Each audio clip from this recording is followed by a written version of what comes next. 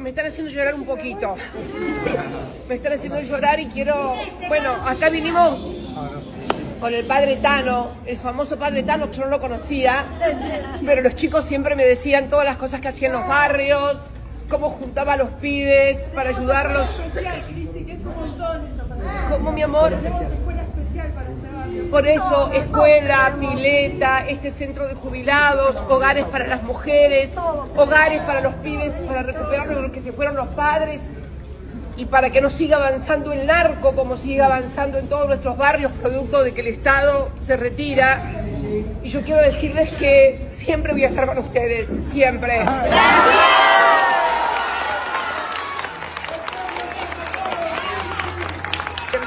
del otro extremo de la vida, los pibes.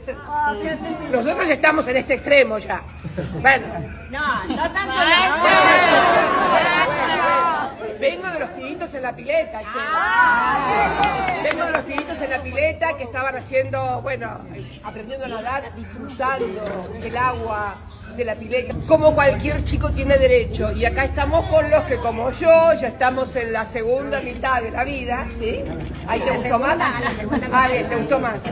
Estamos en la segunda mitad de la vida, pero con mucho para ofrecer a todos y a todas. Así que, nada, yo les pido que sigan trabajando y organizándose porque es fundamental que el pueblo, que la sociedad se organice en torno a la iglesia, en torno al club, en torno a la cooperativa de la escuela, en torno a que no nos ignoremos los unos con los otros y que entendamos que la única fuerza que tenemos está en lo colectivo.